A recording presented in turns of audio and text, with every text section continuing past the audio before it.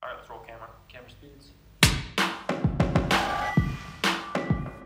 Banni is a French word. It means outcast. I used to think it was weird to be an outcast. It's important when you're being yourself to just be authentic and be unapologetic about it. That's what Banni represents. We are all outcasts. Sometimes it's scary. Sometimes there's fog. Sometimes there's not clarity.